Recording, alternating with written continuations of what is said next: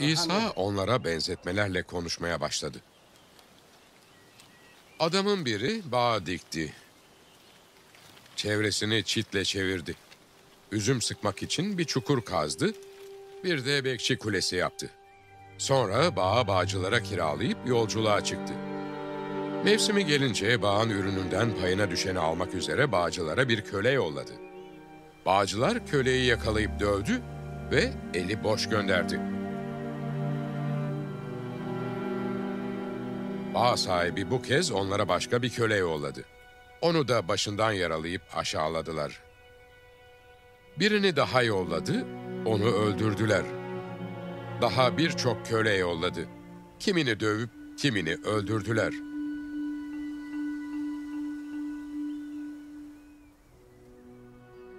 Bağ sahibinin yanında tek kişi kaldı.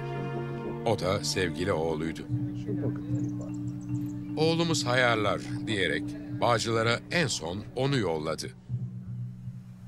Ama bağcılar birbirlerine mirasçı budur. Gelin onu öldürelim. Miras bizim olur dediler. Böylece onu yakaladılar, öldürüp bağdan dışarı attılar. Bu durumda bağın sahibi ne yapacak? Gelip bağcıları yok edecek, bağı da başkalarına verecek.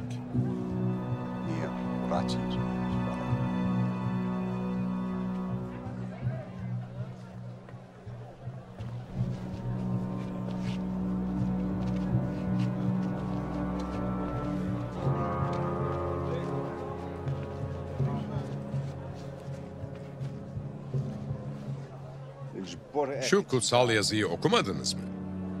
Yapıcıların reddettiği taş işte köşenin baş taşı oldu. Rabbin işidir bu. Gözümüzde harika bir iş. İsa'nın bu benzetmede kendilerinden söz ettiğini anlayan Yahudi önderler onu tutuklamak istediler. Ama halkın tepkisinden korktukları için onu bırakıp gittiler.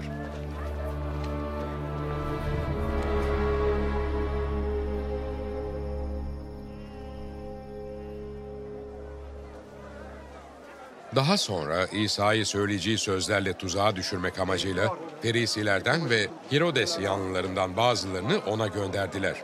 Bunlar gelip İsa'ya, öğretmenimiz dediler. Senin dürüst biri olduğunu, kimseyi kayırmadan, insanlar arasında ayrım yapmadan Tanrı yolunu dürüstçe öğrettiğini biliyoruz. Sezar'a vergi vermek kutsal yasaya uygun mu, değil mi? Verelim mi, vermeyelim mi? Onların ikiyüzlülüğünü bilen İsa şöyle dedi. Beni neden deniyorsunuz? Bana bir dinar getirin bakayım. Parayı getirdiler.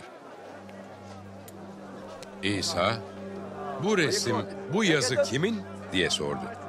Sezar'ın dediler. İsa da, Sezar'ın hakkını Sezar'a, Tanrı'nın hakkını Tanrı'ya verin dedi. İsa'nın sözlerine şaşa kaldılar.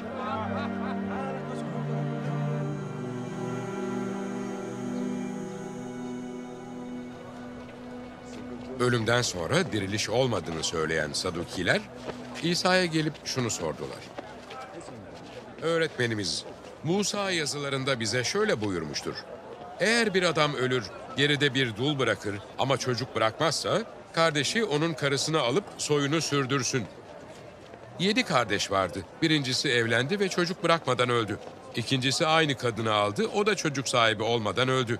Üçüncüsüne de öyle oldu. Yedisi de çocuksuz öldü. Hepsinden sonra kadın da öldü. Diriliş günü ölümden dirildiklerinde kadın bunlardan hangisinin karısı olacak? Çünkü yedisi de onunla evlendi. İsa onlara şöyle karşılık verdi. Ne kutsal yazıları ne de Tanrı'nın gücünü biliyorsunuz. Yanılmanızın nedeni de bu değil mi? İnsanlar ölümden dirilince ne evlenir ne evlendirilir. Göklerdeki melekler gibidirler. Ölülerin dirilmesi konusuna gelince Musa'nın kitabında alevlenen çalıyla ilgili bölümde Tanrı'nın Musa'ya söylediklerini okumadınız mı? Ben İbrahim'in tanrısı, İshak'ın tanrısı ve Yakup'un tanrısıyım diyor. Tanrı ölülerin değil, dirilerin tanrısıdır. Siz büyük bir yanılgı içindesiniz. Onların tartışmalarını dinleyen ve İsa'nın onlara güzel yanıt verdiğini gören bir din bilgini yaklaşıp ona buyrukların en önemlisi hangisidir diye sordu. İsa şöyle karşılık verdi. En önemlisi şudur. Dinle ey İsrail. Tanrımız Rab tek Rab'dir. Tanrın Rabbi bütün yüreğinle, bütün canınla, bütün aklınla ve bütün gücünle seveceksin. İkincisi de şudur. Komşunu kendin gibi seveceksin. Bunlardan daha büyük buyruk yoktur. Din bilgini İsa'ya iyi söyledin öğretmenim dedi. Tanrı tektir ve ondan başkası yoktur demekle doğruyu söyledin. İnsanın Tanrı'yı bütün yüreğiyle, bütün anlayışıyla ve bütün gücüyle sevmesi, komşusunu da kendi gibi sevmesi, bütün yakmalık sunulardan ve kurbanlardan daha önemlidir. İsa onun akıllıca yanıt verdiğini görünce, sen Tanrı'nın egemenliğinden uzak değilsin, dedi. Bundan sonra kimse ona soru sormaya cesaret edemedi.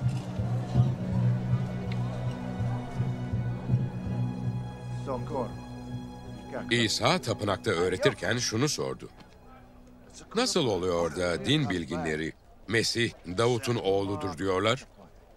Davut'un kendisi kutsal ruhtan esinlenerek şöyle demişti. Rab Rabbime dedi ki, ben düşmanlarını ayaklarının altına serinceye dek sağımda otur. Davut'un kendisi ondan Rab diye söz ettiğine göre o nasıl Davut'un oğlu olur? Oradaki büyük kalabalık onu zevkle dinliyordu. İsa öğretirken şöyle dedi.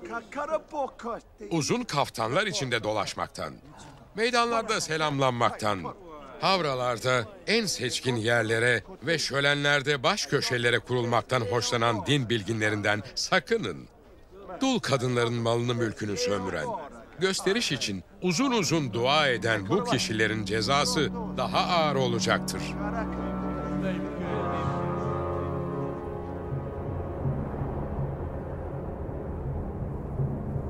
İsa tapınakta bağış toplanan yerin karşısında oturmuş, kutulara para atan halkı seyrediyordu. Birçok zengin kişi kutuya bol para attı. Yoksul bir dul kadın da geldi, birkaç kuruş değerinde iki bakır para attı.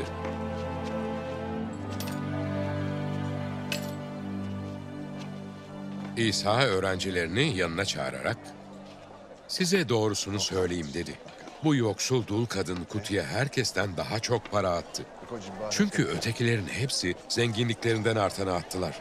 Bu kadınsa yoksulluğuna karşın varını yoğunu, geçinmek için elinde ne varsa tümünü verdi.